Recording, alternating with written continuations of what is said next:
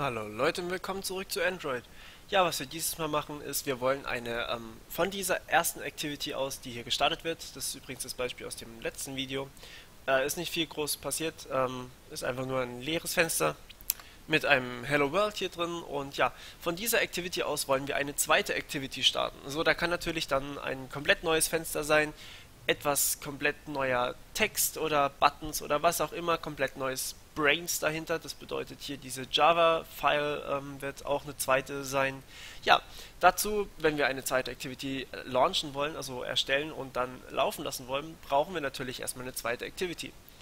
So, und ähm, wenn wir eine zweite Activity haben wollen, dann gehen wir hier einfach auf App, Java und dann hier eben, ich habe es Test Me Out genannt, ähm, ja, äh, hier einfach New und dann sehen wir hier Activity und wählen hier eine Activity aus, die wir hier gerne haben.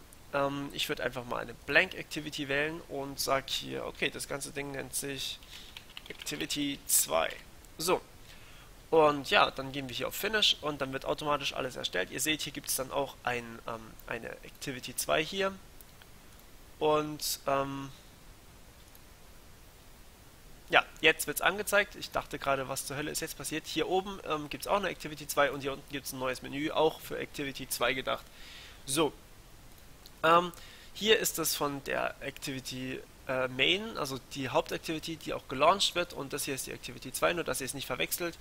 Damit ihr es noch weniger verwechseln könnt oder auch ich das nicht verwechseln, werden wir hier dem ganzen Ding einfach mal einen hübschen Hintergrund setzen. So, Activity Main bekommt, ähm, das können wir auch löschen, brauchen wir nicht.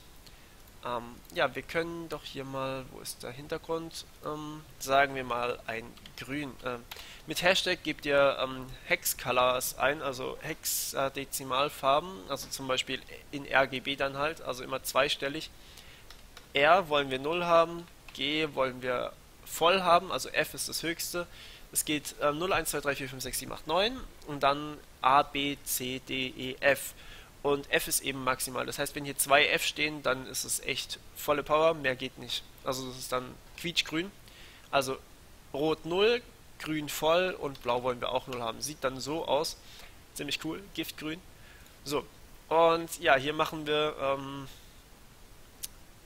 äh, auch einen Hintergrund. Sagen wir mal, hm, wir gehen hier auf Color und suchen uns daraus, was wir wollen. Was liegt denn gegenüber vom Giftgrün? Quietschrosa. Ja, furchtbar.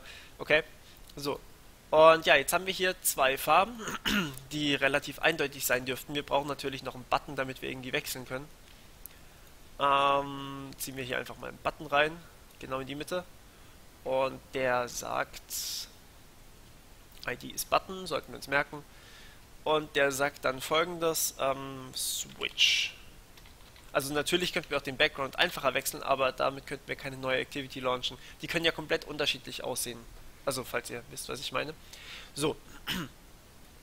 Und ähm, hier haben wir noch ein kleines Attribut, das wollte ich euch schon länger mal zeigen. Nennt sich OnClick. So, wenn wir jetzt hier in OnClick was ein... Dann können wir eine Methode auswählen, äh, mit der quasi unser OnClick ausgeführt wird. Also wir brauchen hier keinen Listener schreiben dafür, sondern können hier einfach eine Methode eingeben. Ich nenne sie einfach mal OnClick. Wie kreativ bin ich doch heute. Und wir sehen das auch hier in dem Text. Hier steht dann auch OnClick. So. Ähm, in Activity, in der Main Activity müssen wir jetzt bloß auch diese OnClick-Methode äh, kreieren. Das ist ein Boolean. Oder? Ähm, protected sollte vielleicht noch davor. So, protected, boolean, boolean, on click. On boolean, ja, klar. On click, on a boolean, wie kommst du da drauf? View, view, so. Und ja, jetzt werden wir hier ähm, in dieser On-Click-Methode etwas tun. Und zwar diese Activity wechseln. Hm, halt, stopp, das ist, ähm, die On-Click ist nur eine Void.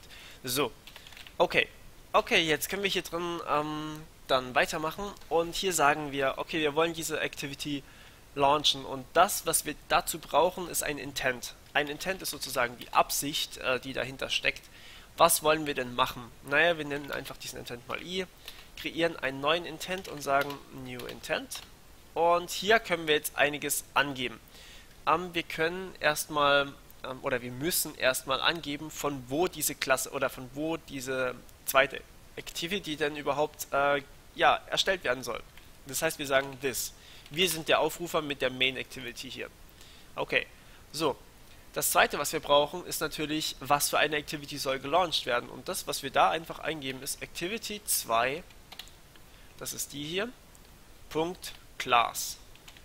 Das heißt, die Klasse der Activity wird da reingegeben als Parameter. So, und das ist unser Intent.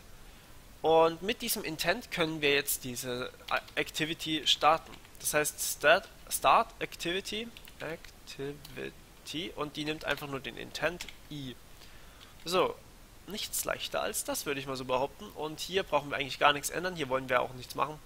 Äh, wenn ihr zurück switchen wollt, packt einfach noch einen Button rein und äh, ihr kommt wieder zurück. So, und wenn ich das jetzt hier laufe, halt, wenn ich das hier laufen lasse, dann gibt mir das Ganze einen Error. Ich muss hier natürlich Public setzen denn ähm, diese XML-Datei, die muss ja da auch drauf zugreifen können. Fällt mir gerade so auf. Und jetzt haben wir die Activity hier ähm, und haben diesen kleinen Switch-Button. Ihr erinnert euch, wenn man hier drauf klickt, dann kommt dieser äh, kleine Dings da unten.